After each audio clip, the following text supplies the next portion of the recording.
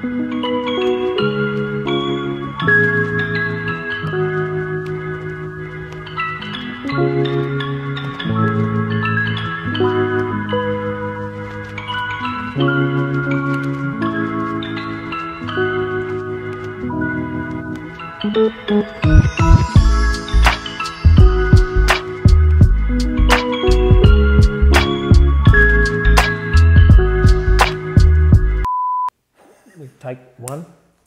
Take take 644. Maguire's Motorex coming up. Melbourne Showgrounds, May 6 and 7. We're here with Peter Fitzpatrick. Knows a thing or two about building a show car and Yeah. going to shows and winning a few trophies in your time, mate. Yeah, I've done a few, mate. Yeah, we've been to uh, every Motorex, so um, uh, not always an entrant, but I think uh, about 18 of them out Yeah. of the 20. Because even as a as a spectator, it's a it's a you know I was about to say it's a wild event, but it's wild in terms of how many cars and how spread out. It just never ends. It's uh, and um, everyone says, "Oh, is it going back to Sydney?" Or um, I think Melbourne, um, even though we've got to travel like six and a half, seven hours to get there, um, I think Melbourne is actually a better venue because the way that it's spread out in Melbourne. Um, a few people said to me, "Oh, we're going to the Motorex," and I said, "You need to go for both days. If, if you go for one Oh, day, you're going to miss out on a heap, heap of stuff because."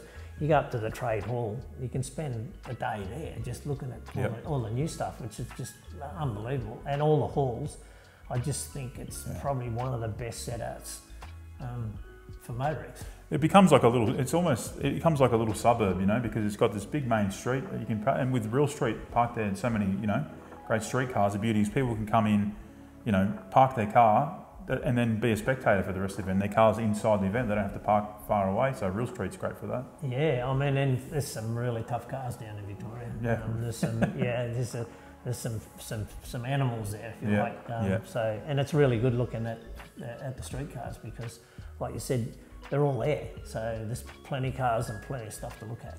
What's going to be great to look at is Show Car Hall of Fame. The FC's making its trip down over the border. Yeah, it's pretty great to be invited back to Motorex because um, well, this is the first time that the FC's actually been invited back to Motorex because um, when we went in 2010 um, for Car of the Decade, uh, they basically said, you won it now, don't come back. so that's pretty cool.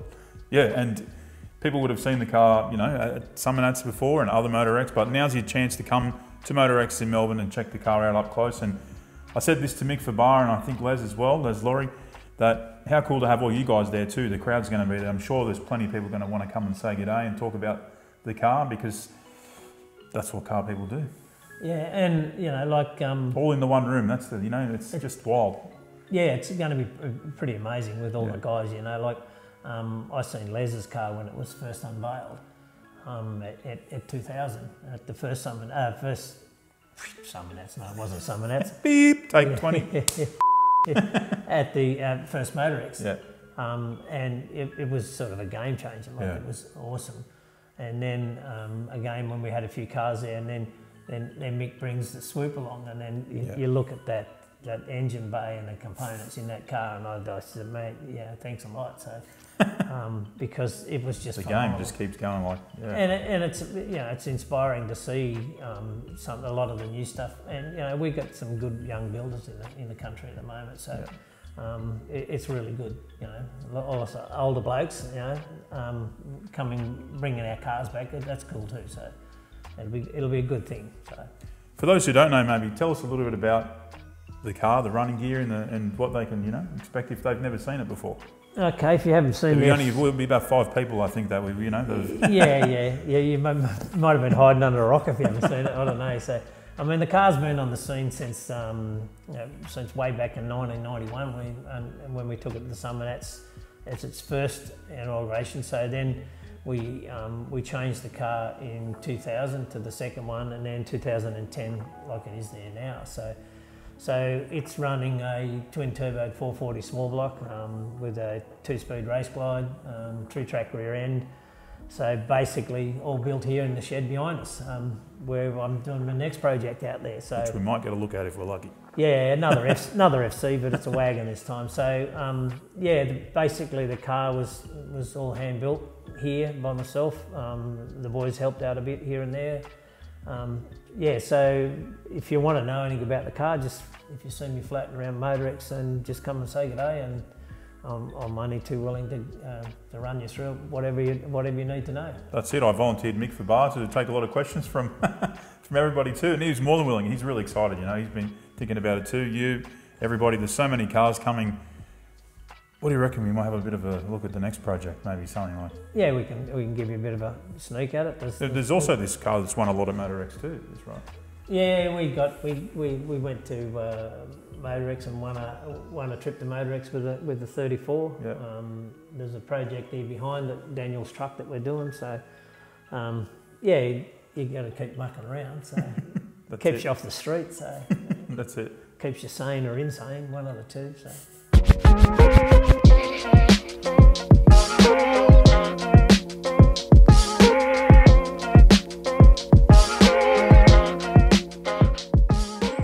At the next project, that Yeah, unveiling, the unveiling. future. Yeah, okay. This is me uh, next project. Yeah, wow. So FC wagon. FC wagon. Yeah, so this is probably a little different to the last one, but um, yeah, this is going to be a, a street car, uh, a, a driver. So, well, not the FC is not a driver. I, I do drive it as well, but um, I can. This will be able to drive it anywhere, Yeah, yeah. anytime. Clock up thousand Yeah. k's on a big run or something Yeah, like yeah, that. yeah, do that. So Yeah. um, she'll have a turbo RB30 Yep. manual. Yep. Um, yeah, with a GTR Godzilla rear end in it. So, so as you can.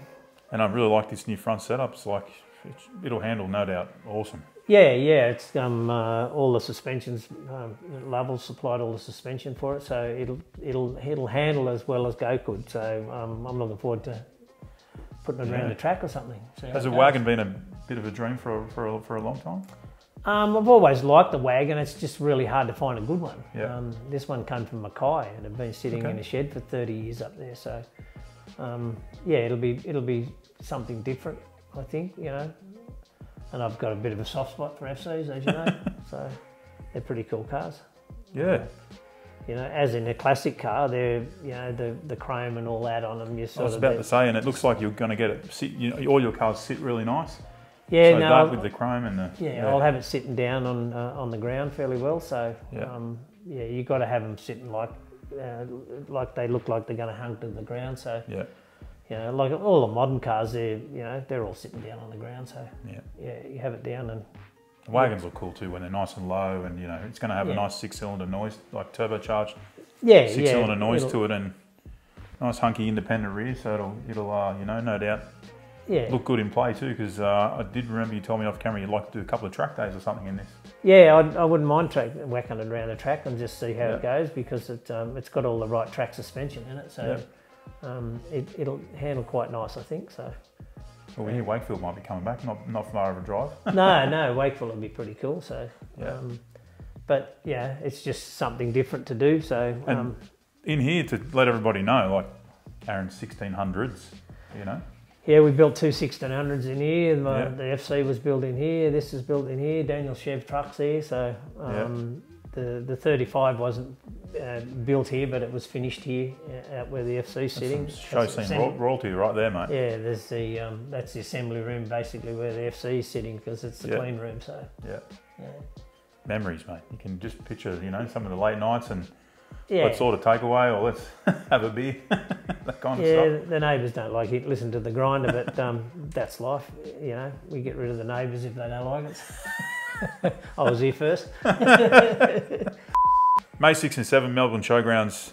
Be there. Fitzy will be there with the FC59, like Definitely come and catch up to us all. Yeah. um, there'll be plenty of us there. Show Car Hall of Fame. It's We've been on a bit of a trip the last few days doing these videos, and I tell you what, it's really coming to life that every car's like just ready, and it's it's amazing to know how far they're coming from. You know, yeah. just the parts we've done, but some of them are coming further, and to be yeah. in the one hall at the one time is a very special moment. And Webby's been working with everybody to make this happen, and a lot of people behind the scenes. So get to MotorEx Melbourne Showgrounds May 6 7. We'll see you there. Yeah, yeah, definitely be uh, one to, one to remember. I, bel I believe so. So. Cut.